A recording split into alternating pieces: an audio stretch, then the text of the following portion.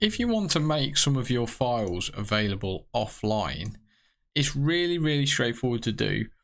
All you need to do is right click on it and you see it says here, always keep on this device. So if I tick that, what's going to happen is it's going to sync and then I'm going to see a different icon I've not seen before, which is the green circle where it's solid with a tick inside, which you can see is different from this green circle here.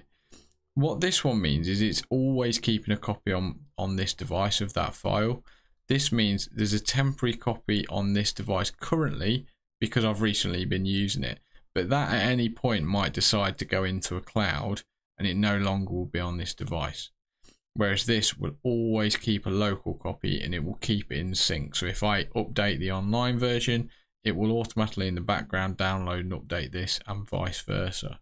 So it might be worth you doing that like i said in a previous video if say you were traveling on a train or on a plane or something and wanted to get some work done but might not have internet access this is an option for you to just right click on some of the files you might want or folders.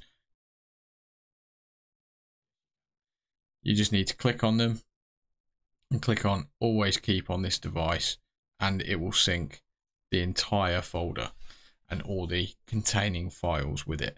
You can see it's taking slightly longer to go green on there because it's probably got a lot of pictures inside it. Let's have a look.